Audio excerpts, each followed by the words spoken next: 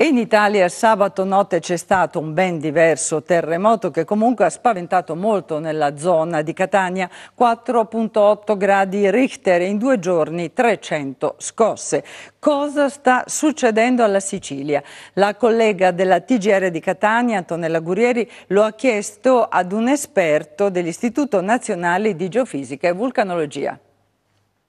Continua a tremare la terra in Sicilia. Lungo i piedi dell'Etna da giorni si registra una sismicità diffusa con localizzazioni differenti che corrono intorno a faglie distanti l'una dall'altra. Prima la zona di Zafferana, eh, poi la zona di Piano Pernicana, quindi versante nord-est dell'Etna e adesso tra la notte di venerdì e sabato il, nel basso versante sud-occidentale dell'Etna. Un'area che abbraccia l'area Letneo, che ovviamente è interessato da una serie di faglie attive che attraversano l'edificio vulcanico e che quindi diciamo, rispondono eventualmente anche mh, non solo allo stress tettonico di tipo regionale ma anche a quello indotto da eventuali movimenti di magma uh, nella crosta.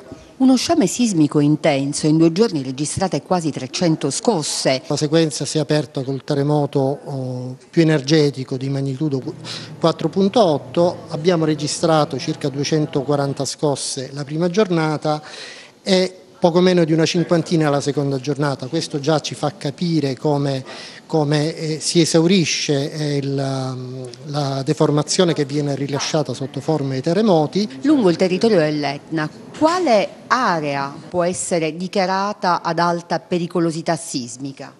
Dunque la zona a maggiore pericolosità sismica è il basso versante orientale dell'Etna nell'area compresa tra Cireale, Giarre e Zafferana. È attraversata da una serie di faglie attive ben conosciuta mh, col nome di Timpe. Un'altra seconda zona è quella eh, che si sviluppa a cavallo della faglia pernicana, che attraversa zone largamente disabitate e quindi l'impatto sotto il profilo della pericolosità è, è modesto e basso.